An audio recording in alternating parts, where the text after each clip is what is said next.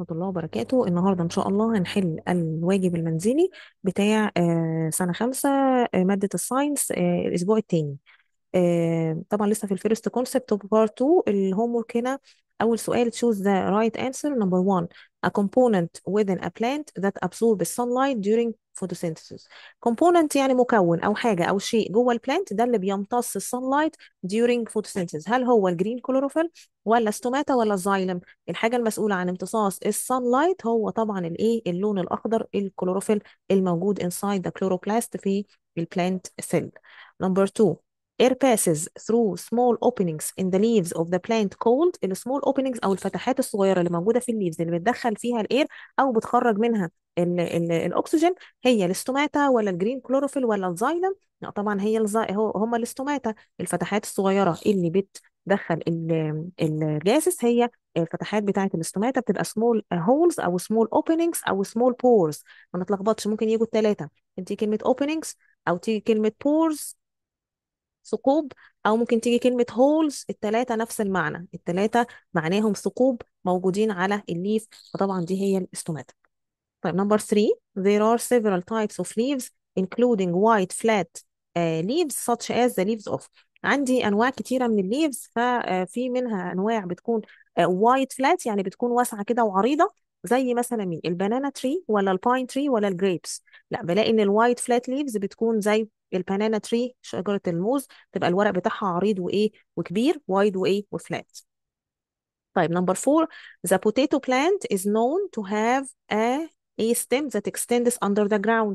ال potato plant عندها stem عندها فاكرين الصفحة بتاعت أنواع ال stems دي؟ كنا بنقول في عندنا runner stem و climber stem و tuber stem وال underground stem وكل الحاجات.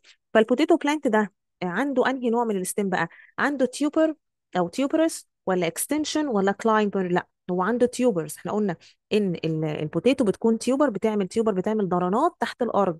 فده stem وموجود تحت الأرض.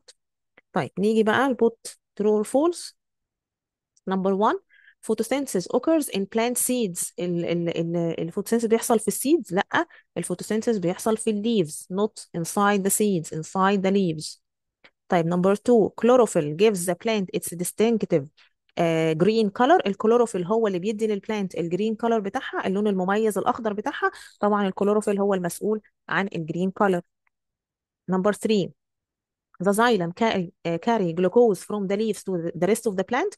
ال xylem هو اللي بيحمل الجلوكوز من عند ال leaves عشان يديها لكل أجزاء ال plants التانية. لا طبعا ال xylem بيعمل إيه؟ ال xylem carry water إنما مين اللي بيحمل الجلوكوز بقى؟ هو ال phloem ال vessels بتاعة ال phloem هي اللي بتحمل الجلوكوز عشان تديها للايه للأوراق ولبقية أجزاء ال plant طيب number four the plant doesn't need sunlight in the process of photosynthesis doesn't need يعني البلانت مش بيحتاج sunlight في عملية الفوتوسينثيز طبعا غلط لأن البلانت إيه need sunlight مش doesn't need sunlight في البروسيس بتاعة الفوتوسينثيز دي طبعا من الاحتياجات الأساسية بتاعته في عملية الفوتوسينثيز بروسيس طيب السؤال اللي بعده mention the scientific term number one stems that extend horizontally on the surface of the earth and help in the formation of new plants such as the strawberry plant الستيمز extend horizontally يعني إيه؟ ال stem اللي بتبقى على سطح التربة تمام؟ وبتساعد في ال formation of new plants وبتكون نباتات كت- كتيرة عليها زي ال strawberry طبعا دي اسمها ال runner stem اللي موجودة على سطح التربة.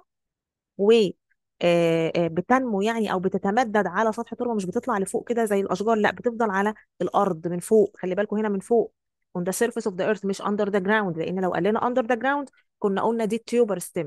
انما دي آه، above the ground on the surface of the ground ده اللي اسمه runner stem تمام number two small openings in the leaves of the plant through which air passes ال small openings اهو قلنا openings أو holes أو pores التلاتة نفس المعنى فتحات على ال leaves بتسمح بدخول ال air طبعا دي إيه ال stomata تمام number three a process that occurs inside the leaves of the plant to make its food ال process بقى العملية اللي بتحصل جوه ال plant عشان يعمل ال food بتاعها طبعا دي ال photosynthesis process اللي إحنا عمالين إيه نتكلم عليها طول الوقت. photosynthesis process. لازم طبعا أبقى عارف ال spelling بتاعها. مهم قوي الكلمة دي نحفظ ال spelling بتاعها. طيب number four thick and solid stems such as the roots of trees and shrubs. ال solid stem أو ال thick stem زي ال roots بتاعت ال trees and shrubs زي ال trunks يعني بتاعت ال trees and shrubs اسمها إيه دي؟ اسمها wood stem دي ال stem الخشبية بتاعت زي بتاعت الأشجار العادية اللي إحنا عارفينها دي عندها wood stem طيب تمام؟ كده خلصنا الأسئلة بتاعة ال homework بتاع الأسبوع الثاني لل science آه، في آه، تقييمات الوزارة. ما تنساش نعمل like للفيديو واشتراك في القناة وأشوفكم إن شاء الله في الفيديوهات الجاية بإذن الله. سلام.